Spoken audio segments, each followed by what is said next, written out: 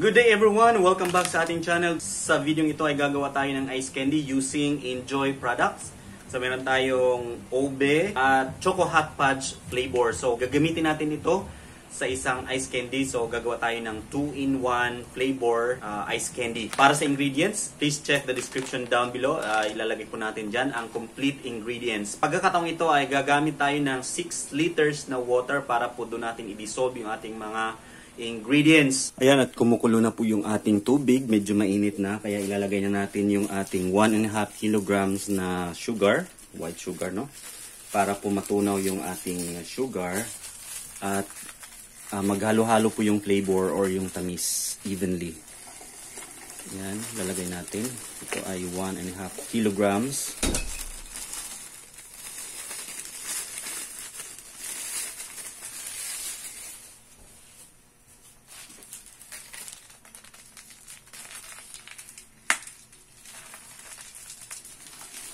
So, hahaluin lang natin ito hanggang sa uh, matunaw yung ating uh, asukal.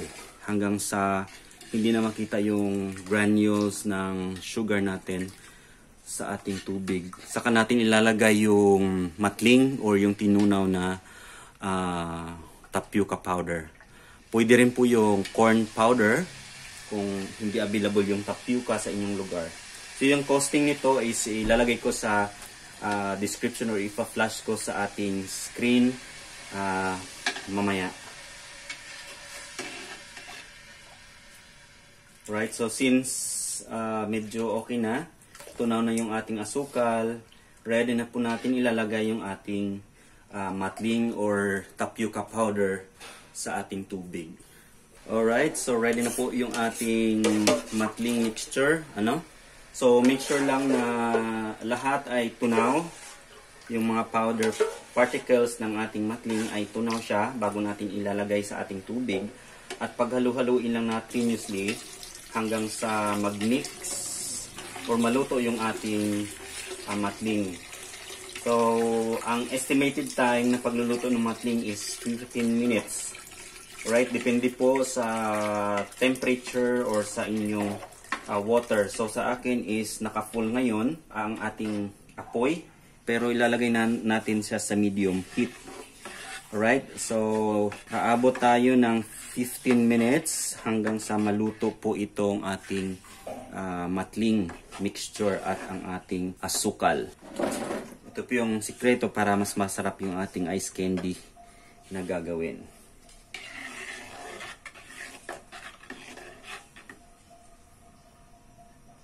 Kaya habang niluluto natin itong ating matling, kailangan natin continuously na paghalo-haluin gamit ng ating sandok para po hindi mag, uh, magsistick sa ilalim ng uh, kaldero yung ating matling mixture, no? Or para hindi siya masunog. So isang palatandaan po na uh, luto na yung ating uh, matling mixture is yung uh, ano na siya, parang transparent na yung matling at hindi na siya namumuo. Okay? So, kailangan walang buo na particles dyan sa inyong matling mixture. So, kagaya niyan, it is almost of uh, cooked, ano? But, nag-timer tayo ng 15 minutes. So, after 15 minutes, kukuhanin na natin sa apoy or papatayin na natin yung apoy ng ating matling. So, ganito po ang pagluto ng ating ice candy na masarap na may uh, flavor ng ice cream. Okay, so lalagyan din natin ng 1/4 uh, tablespoon na, na asin para po lumutang yung tamis ng ating ginagawang mixture dito. So yung apoy natin is mid, uh, low to medium heat. No?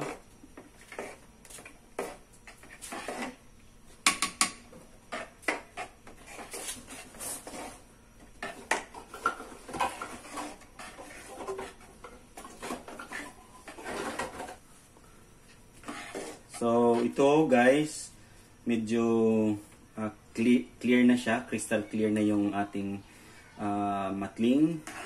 So, malapit na itong maluto. At uh, kung makikita nyo, meron na siyang parang bula-bula. No? Ito ay sinyalis na malapit na maluto ang ating matling.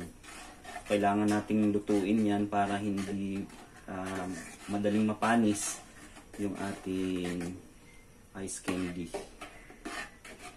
Alright. Then after nito, ah, papalamigin natin siya bago natin ilalagay yung ating gatas para hindi po maluto yung ating gatas. Okay, pagka naluto kasi yung gatas, pangit na siyang ah, pangit yung lasa. Ayan. Okay, so ngayon ay paghalo-haluin natin yung ating mga gatas, no? Yung liquid ingredients natin. So, syempre isang ah, can ng jersey na condensed milk. I-ano lang natin dito guys para matanggal natin yung ah, nasa loob, yung hindi na aabot ng o hindi na ano agad. Ayan, tumutulo. Ayan. Para hindi naman masayang yung ating condensed milk. Kasi mahal po yung condensed milk. So, ang condensed milk na jersey ay nasa 31 pesos dito sa aming lugar. So, depende sa inyong lugar kung magkano yung ah, presyo dyan. So, yung costing natin, mamaya ilalagay natin sa description or idadagdag natin dito sa screen. Alright? So, yung pricing, yung costing niya ay nasa inyong screen makikita. So, ito ay cowbell condensed milk. Dadagdagan natin kasi yung last time na ginawa natin, gumamit tayo ng evap. So, sabi ko para mas masarap, ah, instead na evap, ah, dadagdagan natin ng condensed milk na ah, cowbell kasi yung presyo nito is ah, almost the same lang din naman sa evap.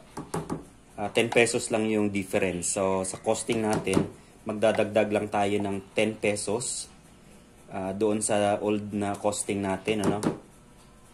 Tapos yung yield natin ay ah, mas mas ma, mas marami pa yung yield natin dito. Okay? So yan, dalawang condensed milk pero magkaiba yung brand. Mas mura itong ah, jersey yata ang mas mura, no? Mas mura ang jersey. Okay, pero hindi naman masyadong ma ano magkalayo yung presyo. At saka isusunod natin yung Angel cream densada para mas lalong ma-creamy yung ating ice candy. So hindi na tayo gumamit ng evap kasi yung cream densada natin ay yun na rin ang magiging pampakrima or pampakreamy ng ating ah, ice candy. And then, haluin lang natin para mag-mix yung gatas. At idadagdag na natin dito yung ating mixture, yung ating matling na may ah, asukal na rin. Okay, so ngayon ilalagay na natin yung ating matling. Gagamit tayo ng sukatan, no? Pero ah, ginamit ko lang ito dahil masyadong mainit yung ating kaldero. Ayan, medyo mainit pa siya. Pero hindi kagaya ng kaninang bagong luto. Okay, so mag-mix na tayo. Ipaghaluin na natin yung ating gatas sa ating matling mixture kanina. So kailangan lang ma-dissolve lahat na ingredients paghalu-haluin para po ah, ah, ma-even yung distribution ng tamis. Tsaka yung lasa ay um, maano siya, may uniform, uniform yung lasa. So malalaman natin kung mix na talaga thoroughly yung ating gatas dito sa ating matling kapag yung color maging consistent na, no? Maging consistent na into yellowish. Ayan, at nahalo na natin. Okay, evenly yung ating gatas at saka matling. So, we will just wait hanggang na sa lumamig itong ating uh, mixture bago natin ilagay sa supot. Or bago pala natin ilalagay sa supot ay ihahatiin mu- muna natin siya kasi meron tayong dalawang flavor, right? So, two flavor yung gagawin natin ngayon. So, kailangan nating hatiin yung ating uh, pinaka uh, ice candy mixture. Meron tayong dalawang lagayan dito, no? So, kasi dalawang flavor, kaya dalawang lagayan. Ang gagawin natin, ah, kukuha tayo ng measuring cup or measuring pitcher. Ito gagamitin natin para ma-measure evenly yung ating ah, mixture. So ito, na-divide na natin, ano? Meron tayong 4 liters, 4 liters din dito, kaya total eh, ah, 8 liters. Pero meron pang sobra. Okay, so nakakuha ulit ako ng isang litro. Hahatiin ko ito sa dalawa. Bali, 4 and a half, and then yung isa is 4 and a half. Yung isang flavor. Sa ngayon ay magdi-dissolve tayo ng ating flavor, ano? Gagamit tayo ng hot water since we have to use uh, 1 half kilogram ng powder. Ang water na ilalagay din natin is 1 half kilogram or 2 cups. Kasi ang 1 cup is equivalent to uh, 250 ml or kil- uh, grams. Ilagay natin dito sa ating ating lagayan. So 500 grams.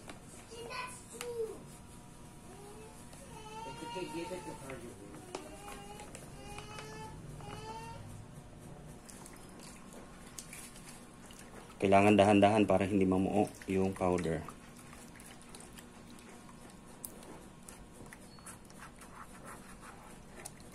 So, naamoy ko guys yung talagang ubing-ubi. Yung flavor natin. Kailangan unahin natin yung tubig para hindi masyadong mamuo. Hindi natin hindi tayo mahirapan sa pag-dissolve ng ating powder. Kasi pag nauna yung powder, minsan na mumuo na yung ating powder pagka nilagyan natin ng tubig. Kaya kailangan una yung tubig bago ang powder. Amoy ubi talaga siya. 100%. Ah, para mas mabilis pala ng pagkatunaw ng ating powder, kailangan nating gumamit ng kung meron kayo, merong mixer, mas maganda. Kasi itong gamit ko ay spatula at medyo ah, mabagal yung pag ano paghalo. Kailangan ganyan oh. Ah, high speed. High speed yung pang ano natin. Pwede rin tayong gumamit ng whisk.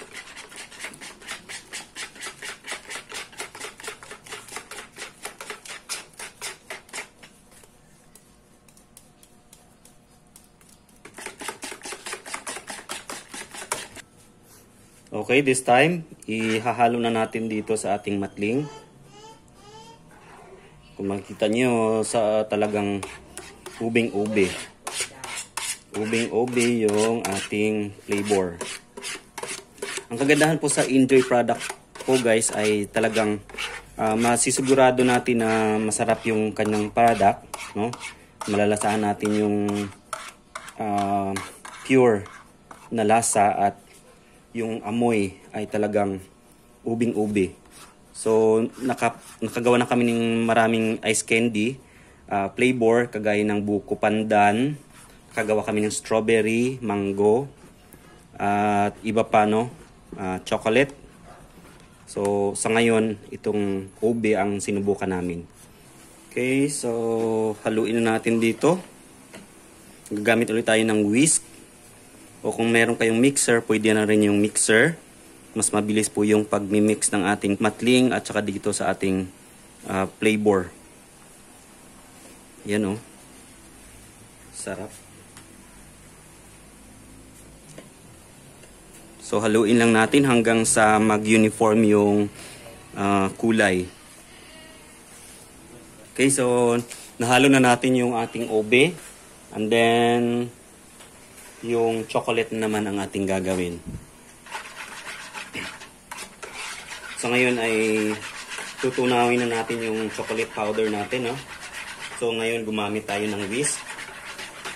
Mas mabilis na matunaw yung ating powder kaysa doon sa spatula.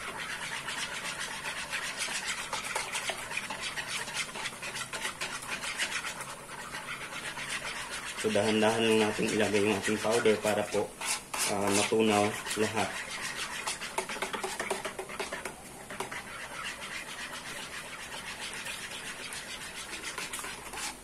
The same procedure lang kanina sa ginawa natin. No? Uh, half kilo na powder at saka 2 cups of water.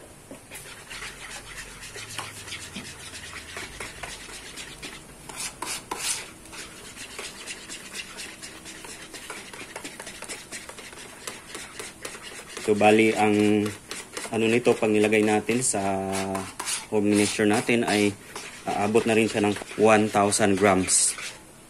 Kasi 250 plus uh, 250 o dalawang cups is 500 grams plus 500 grams na powder so 1 kilogram 1 liter so kanina meron tayong 4 and a half plus 1 so 5 and a half uh, liters na yung ating isang flavor. So kaya sinabi ko kanina makakayield tayo ng 8 to 10 no? Pero sumobra nga ito. It's uh, 10 10 and a half no? 10 or 11 uh, liters lahat-lahat. So mas mabilis siyang natunaw guys kasi gumamit tayo ng whisk nung tinunaw natin yung powder na chocolate pero mas malapot yata yung ano yung OB. Ngayon ilalagay na natin yung ating chocolate sa ating uh, matling.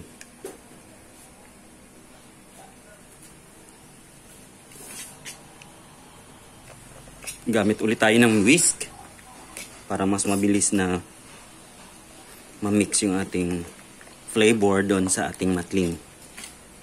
Uh, napansin ko lang sa lahat ng mga chocolate flavor ng Enjoy product, no? Itong Choco Hot Fudge yung nagustuhan ko talaga. Uh, sarap, sarap yung uh, tamtaman yung ano yan, yung lasa hindi, hindi siya masyadong matapang, hindi rin siya masyadong malabnaw yung lasa. So, para sa akin ito yung the best na flavor. Choco Hot Fudge. Parang may caramel kasi siya. Okay, so ngayon ilalagay na natin sa ating dispenser ang ating mixture. Kuha tayo ng yan 1 liter 2.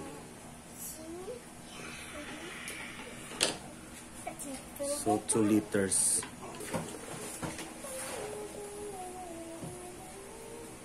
Ayan. So, ready na yung ating uh, ube at chocolate flavor. So, lalagyan na natin ng takip dito sa taas para po hindi lalangawin yung ating uh, ice candy.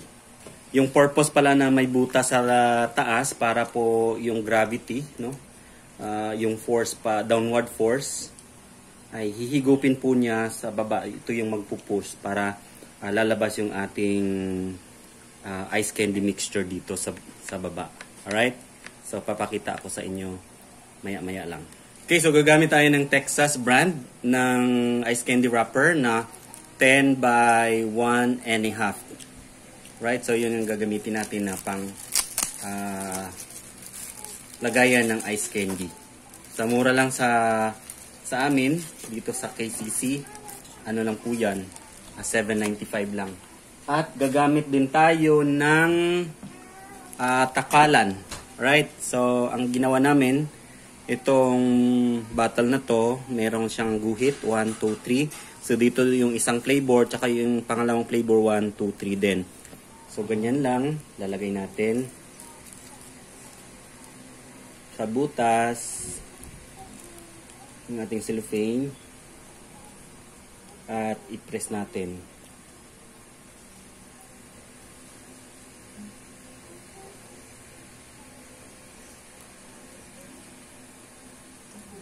Okay, more or less ganyan karami, no? At hagurin lang natin pababa. So pag nilagay natin dito, sakto lang siya. Ito yung ating takalan. So yan yung ating basihan para magpantay yung ating flavors. At dito sa kabila, yung ating chocolate flavor. No? So gagamit din tayo ng takalan. Yan. So more or less dito din yan. Pangatlo. Alright, so ito na guys. Meron tayong dalawang flavor. Yung obe, tsaka yung chocolate sa taas. At itatali na natin.